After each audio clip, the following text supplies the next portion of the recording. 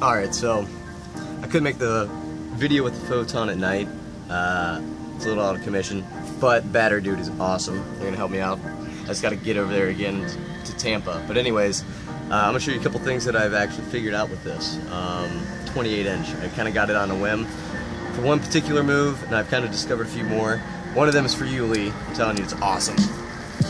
So this is actually the reason why I got it, and I did not know if it would work, and it does. It's just hard. I haven't practiced it enough. It's uh, it's like a coin spin behind your back, which you could get to from here, I guess. Next, next to here, but anyways. I'd like to get more than just one rotation, which is the hard part. The more you lean,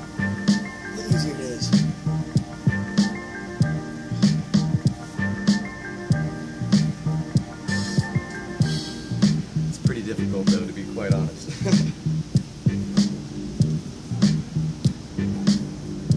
also, uh, for these isolations, buzzsaw,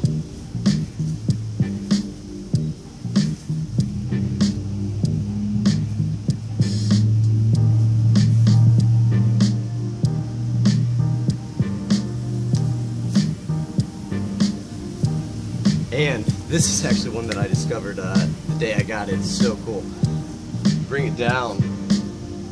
Now you're on basically on the ground, but not quite. And you can do ISO pops. It's so neat.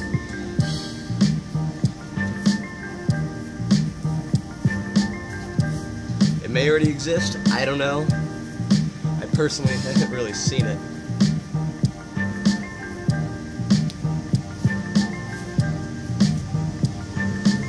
Can see where I'm going with this. Cat eyes.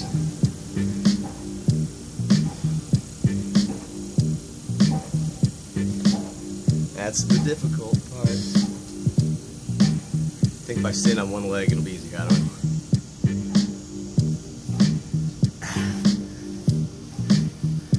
Maybe a little assistance with the other hand. Nope. Or you could actually, I guess theoretically, do this backwards.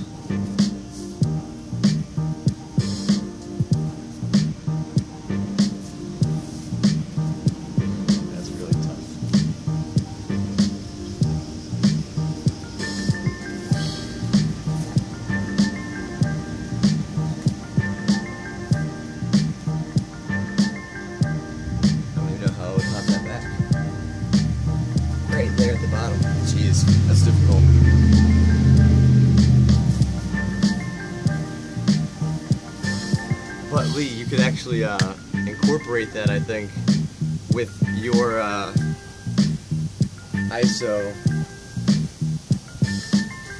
pop there. I think you could.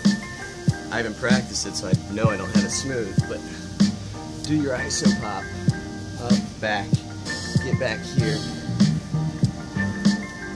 and then do whatever you gotta do. Practice that Lee. I want to see something. It's a challenge.